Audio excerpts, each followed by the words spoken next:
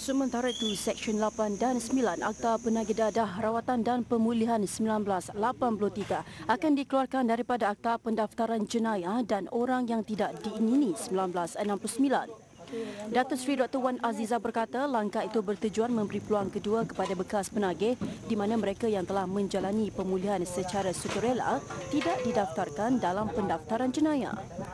Cadangan ini adalah berdasarkan keperluan seperti berikut menghilangkan stigma kepada penagih dadah yang telah dipulih membolehkan bekas penagih dadah itu di bawah seksyen berkenaan memperolehi peluang pekerjaan dan memberi peluang kepada penagih dadah menjalani kehidupan baru dan berfungsi dalam masyarakat. Tambah beliau, jawatan kuasa itu turut bercadang memperluaskan insentif kepada majikan yang mengambil bekas penagih dadah bekerja seperti mana pengambilan bekas banduan. Jelasnya hasil kajian menunjukkan kadar kepulihan lebih baik sekiranya golongan tersebut mempunyai pekerjaan untuk meneruskan kehidupan bagi menyara diri dan keluarga.